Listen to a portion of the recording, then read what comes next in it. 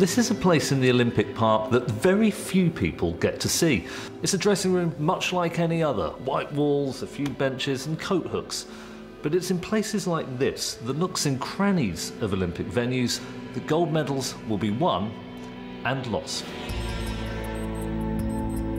This is the inner sanctum where the last few crucial moments are spent before stepping out into the megawatt light of the competition arena just a few yards down that corridor. It is here that athletes perform the highly secretive routines designed to take them into the zone. Here you will see some truly bizarre things. Some athletes in half trances pacing from foot to foot, others with their eyes closed, visualizing optimum performance. Some athletes enact bizarre superstitions, others offer silent prayers. In many ways, this is one of the most surreal places in sport, but also perhaps one of the most fascinating. Often, the final few moments before competition are highly solitary. You're alone with your thoughts or perhaps your demons. But in many sports, solitude is impossible. You're required to spend those final moments not on your own, but right up close with your competitors. And it's here in the dreaded call room that the mind games go into overdrive. From my perspective, these are the seven guys that are I've got to do battle against that are trying, you know, standing in my way to, to achieving my objective of a gold medal. I never thought it was personal. You know, like people, I didn't think they were trying to destroy my dreams or they're trying to beat me. They were simply trying to win. I don't own winning.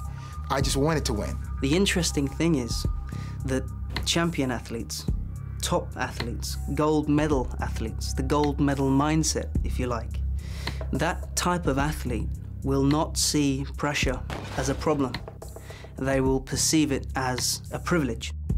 I quite enjoyed it actually because the pressure is so high at that point. All other things being equal, it's the person who handles that moment and the pressure at that particular time best that that's going to have their best performance. There was one competitor, he asked us all, you know, to, to pray together. I'm not going to pray with you. And most of the guys did it. I didn't do it. I'm not going to do that. I'm, I'm about to go to battle.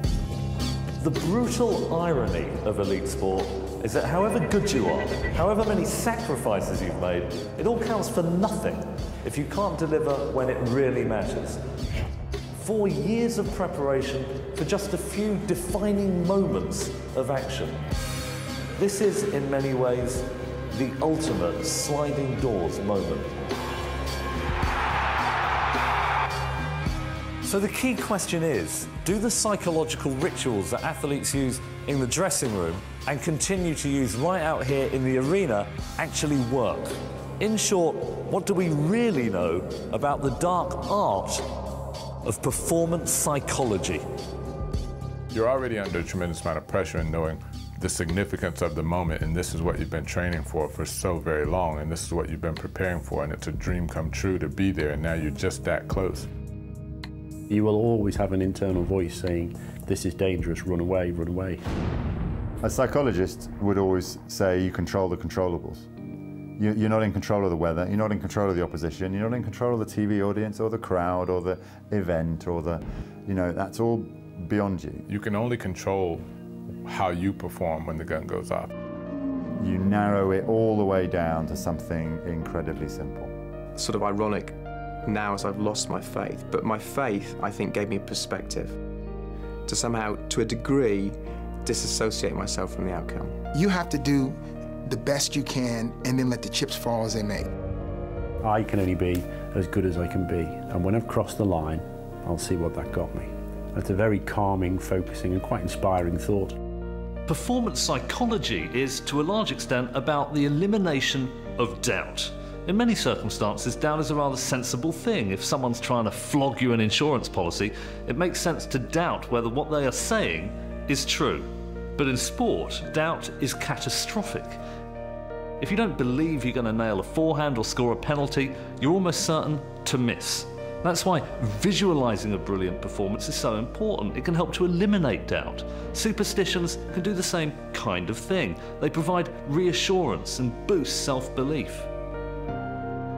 Superstition is a very interesting phenomenon, particularly in the world of sports psychology, because what we're actually saying is thoughts become things. And what we think affects the way we feel. And the way we feel ultimately affects the way that we behave and ultimately, in the sporting context, perform. A similar kind of thing happens in the field of medicine. A sugar pill with no pharmacology whatsoever can have incredible effects, reducing pain and anxiety, even eliminating nausea, so long as you believe it will. As Jonathan Edwards put it in a slightly different context, any belief can have astonishingly powerful effects providing it is held with sufficient conviction. Maybe that's the key here, is you need to find something that works for you. Every athlete is an individual, and you can, you can take out the training manual, you can take out the sports psychology book, and you can say, well, Michael Johnson did this, and Carl Lewis did this, and Muhammad Ali did this, and, and you can go on and on and on through the greats, But none of them are who you are, and you have to find your own way. Delivering under pressure is a rather brutal thing, but also a profoundly subjective one.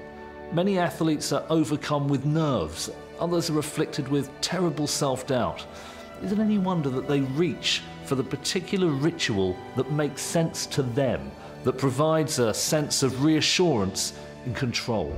Prayer, superstition, visualization, take your pick.